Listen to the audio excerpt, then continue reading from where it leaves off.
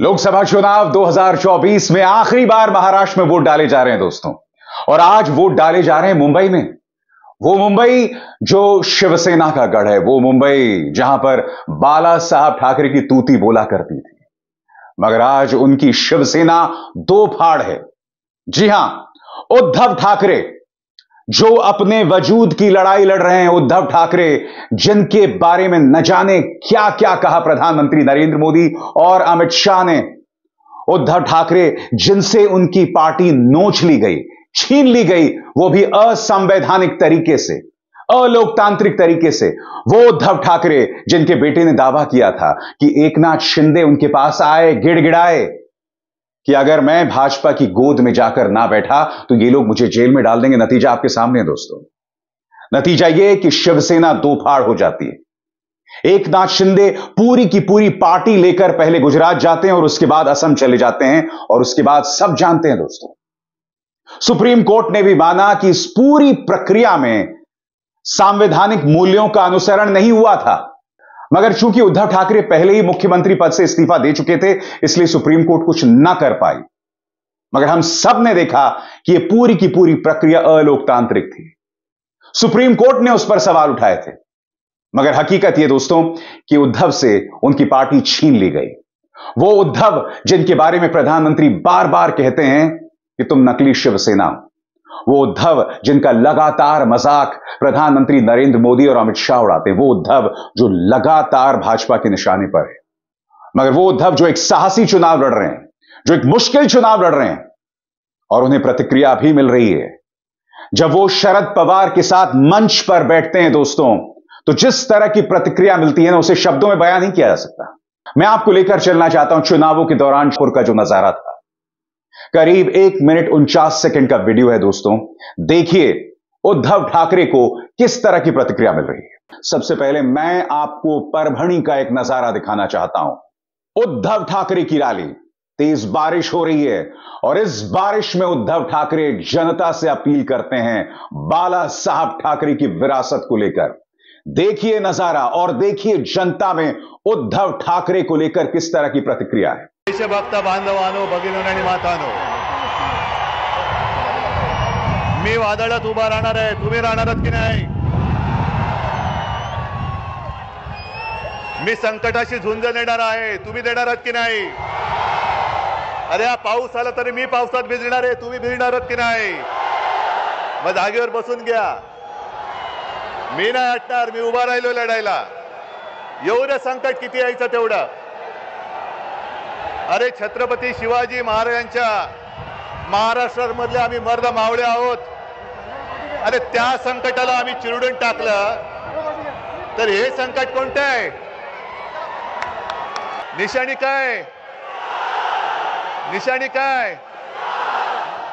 तो बड़ा सवाल यही किया जा रहा है कि क्या ये भीड़ वोटों में तब्दील होगी? क्या भारतीय जनता पार्टी अपना 2019 का रिकॉर्ड दोहरा पाएगी जब उसे 48 में से 41 सीटें मिली थी? या इस बार माहौल बदल जाएगा? जिस तरह की प्रतिक्रिया सहानुभूति उद्धव ठाकरे और शरद पवार को मिल रही है, क्या वो वोटों में तब्दील होगी? क्योंकि मैं आपके सामने कुछ तथ्य रखना चाहूँगा दोस्तों। न सिर्फ़ उद्धव ठाकरे से उनकी पार्टी उनसे नोच ली गई बल्कि शरद पवार का भी यही हश्र हुआ। अजीत पवार जो अपने खिलाफ केसेस से खुद को बचाना चाहते थे, जेल जाने से बचना चाहते थे, वो आज की तारीख भाजपा की गोद में है, बतौर डेप्यूटी चीफ मिनिस्टर। मगर वो हिंदी में कहावत है ना, थूक कर चाटना। क्योंकि हम ये नहीं भूल सकते कि स्वयं माननीय देवेंद्र फडणवीस ने क्या कहा था उनके बारे में? सुनिए। Pissing pissing. नुकसान घोटाळ्यामध्ये अजितदादांची अवस्था आम्ही काय करणार? आमचे नाथाभाऊ खडसेंच्या भाषेत सांगायचं तर आमचं सरकार आल्यानंतर Ajitdada chakki pissing pissing pissing and pissing. Dharmendra की याद आ गई दोस्तों, चक्की पीसिंग एंड पीसिंग। मगर बावजूद उसके आज अजीत पवार उनके साथ सरकार में है। आज उद्धव ठाकरे और शरद पवार ये बार बार कह रहे हैं कि प्रधानमंत्री नरेंद्र मोदी जो बार बार कहते हैं कि हम या भाजपा या मैं करप्शन के खिलाफ गारंटी वो सरासर झूठ है। क्योंकि भूल जाइए कि अजीत पवार आज की तारीख में भाजपा की गोद में छगन भुजबल, नारायण राणे और हाँ, अशोक चौहान आदर्श हाउसिंग घोटाला, वो तो भाजपा में शामिल हो गए हैं। उन्हें तो भाजपा ने राज्यसभा में भेज दिया है। क्या हम इन मुद्दों से अपना मुँह मोड़ सकते हैं? साफ़ तौर पर करप्शन के मुद्दे पर महाराष्ट्र में प्रधानमंत्री नरेंद्र मोदी पूरी तरह से एक्सपोज्ड हैं। करप्शन पर प्रधानमंत्री एक्सपोज हैं। उद्धव और शरद पवार के पक्ष में सहानुभूति दिखाई देती है। इसके अलावा दोस्तों, राहुल गांधी जो लगातार संविधान की बात कर रहे हैं, उसकी भी गूंज महाराष्ट्र की गली गली में सुनाई पड़ रही है। राहुल गांधी कह रहे हैं कि ये लोग संविधान बदल देना चाहते हैं। और ये बात काल्पनिक नहीं है दोस्तों।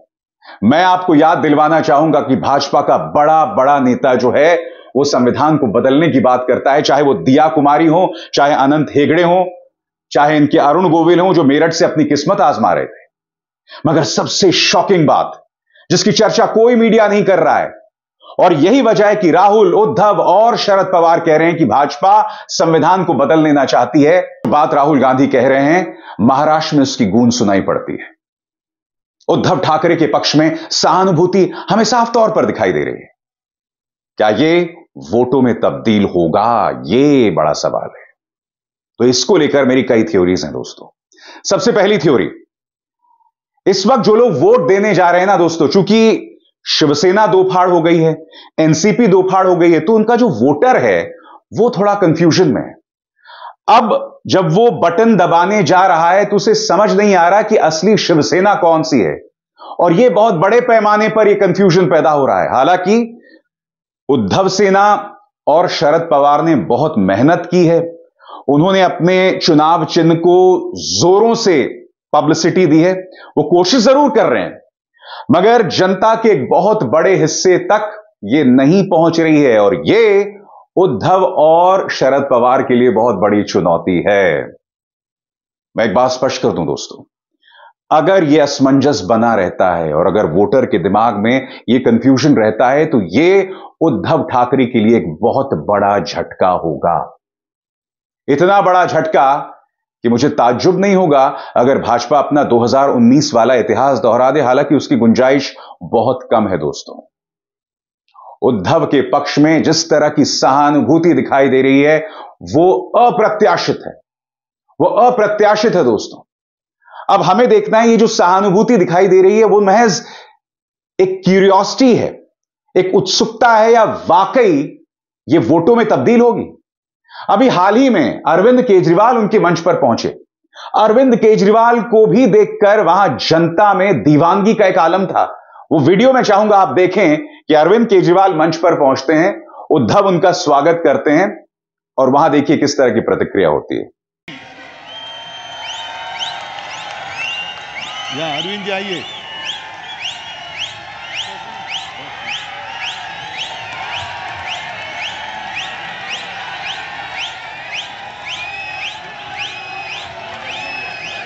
अरविंद केजरीवाल ने यहाँ जो स्पीच दिया दोस्तों, उसे आम आदमी पार्टी ने अपने प्लेटफॉर्म पर डाला और उसे लाखों लोगों ने देखा दोस्तों। लाखों लोगों ने देखा। महाराष्ट्र की फितरत कुछ और है। इस वक्त कई पोल पंडित कह रहे हैं कि बीजेपी अपना इतिहास दोहरा देगी। अब दोहराएगी या नहीं एक अलग बात है, मगर आप भी जानते हैं दोस्तों कि चुनावों में क्या हो रहा है। भाजपा के जो लोग हैं, वो आठ आठ बार वोट डाल रहे हैं। फरूखाबाद का ये जो वीडियो है, जिसमें एक लड़का जो शायद नाबालिग है आठ आठ बार वोट डाल रहा है, और ऐसा सिर्फ़ एक वीडियो नहीं है। दाऊद का वीडियो याद कीजिए, एक व्यक्ति ईवीएम को हाईजैक करके उसका लाइव कर रहा है। भोपाल का एक वीडियो है, विनय मेहर अपने नाबालिग बच्चे से वोट दिलवा रहे हैं। अब हम नहीं जानते हैं कि यह बड़े पैमाने पर हुआ है नहीं। क्योंकि ये तो सिर्फ़ तीन वीडियो सामने उभर कर आए, वो भी इसलिए आ गए क्योंकि इन्होंने खुद इसे रिकॉर्ड किया था और पोस्ट कर दिया था। मगर सोचिए, अगर ये बड़े पैमाने पर हुआ हो तब तो क्या महाराष्ट्र, क्या उत्तर प्रदेश, क्या छत्तीसगढ़ और क्या मध्य प्रदेश? खासतौर से उन राज्यों में जहाँ भाजपा की सरकार है। चुनाव आयोग किस तरह से नतमस्तक है, आप और हम सब जानते हैं। और यह चुनौती उद्धव ठाकरे के सामने है। व्यवस्था उनके खिलाफ है। मैं आपसे सवाल पूछना चाहता हूँ, कितने न्यूज़ चैनल्स ने जिस तरह की प्रतिक्रिया उद्धव ठाकरे को उनकी रैलीज में मिलती है, उन तस्वीरों को आप तक पहुँचाया बताइए। फूलपुर प्रयागराज में जनता बावली हो जाती है, अखिलेश। और राहुल को देख के इसकी कोई चर्चा नहीं होती। क्यों नहीं होती है? गोदी मीडिया ये तस्वीरें क्यों नहीं दिखा रहा? ये तस्वीरें दिखनी चाहिए कि नहीं? भाई, जब प्रधानमंत्री नरेंद्र मोदी जहाँ पर भी जाते हैं, उसका 24 घंटे प्रसारण होता है तो विपक्ष जो कोशिशें कर रही हैं, उसे जनता को क्यों नहीं दिखाई देना चाहिए? दिखना चाहिए ना, मगर ऐसा नहीं हो रहा है। तो यह भी चुनौती उद्धव ठाकरे के सामने है। और हाँ, एक और चुनौती। वो है एनसीपी का विवादास्पद इतिहास। हालाँकि इस वक्त शरद पवार के पक्ष में सहानुभूति है, मगर दिक्कत क्या है कि एनसीपी में आपको याद होगा, अजीत पवार ने सुबह पाँच बजे देवेंद्र फडणवीस के साथ शपथ ले ली थी। फिर उन्होंने फिर यू टर्न लिया, वापस आ गए। फिर उद्धव ठाकरे की सरकार बनी। फिर से वो चले गए भाजपा के पास। और ऐसे में एनसीपी के किरदार पर एक सवाल उठने लगा है। कई लोग यह भी कह रहे हैं कि कल्पना कीजिए कि अगर 48 में से उद्धव ठाकरे और शरद पवार को ज़बरदस्त सीटें आ गई, फिर उसके बाद क्या होगा?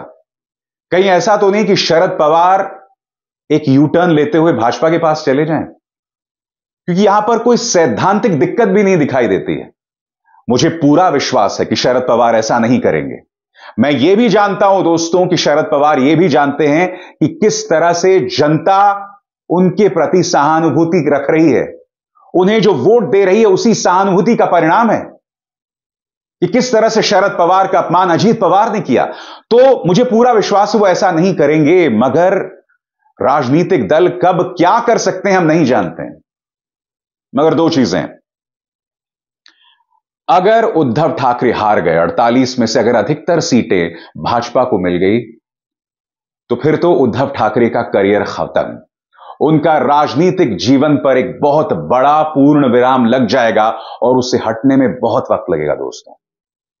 मगर अगर 48 में से अघाड़ी को अधिकतर सीटें मिल गईं तो आपको अंदाज़ा है दोस्तों, आने वाले विधानसभा चुनावों में उद्धव ठाकरे, या ये कहा जाए अघाड़ी का क्या तूफ़ान आएगा?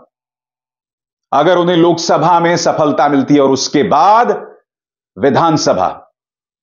विधानसभा में भाजपा, एक नाथ शिंदे और अजीत पवार का सुपड़ा साफ़ हो जाएगा। कायदे से अब भी जनता में उनके प्रति सहानुभूति है। मगर मैं बार बार कहता हूँ दोस्तों, क्या सहानुभूति, क्या उत्सुकता वोट्स में तब्दील होगी? ये एक बहुत बड़ा सवाल है। इसका दोस्तों हमें इंतज़ार करना पड़ेगा। बहरहाल आप सबसे अपील की, जाइए, वोट डालिए, ये बहुत ज़रूरी है। आप अपने मताधिकार का इस्तेमाल करें। नफरत के खिलाफ वोट करें। जो लोग बेहिसाब ताकत का इस्तेमाल करते हैं, उनके खिलाफ वोट करें। सच के पक्ष में वोट करें। लोकतंत्र के पक्ष में वोट करें, संविधान के पक्ष में वोट करें, जो लोग संविधान को तोड़ने, मरोड़ने की बात करते हैं, उनके खिलाफ वोट करें। अभिसार शर्मा को दीजिए इजाज़त। नमस्कार।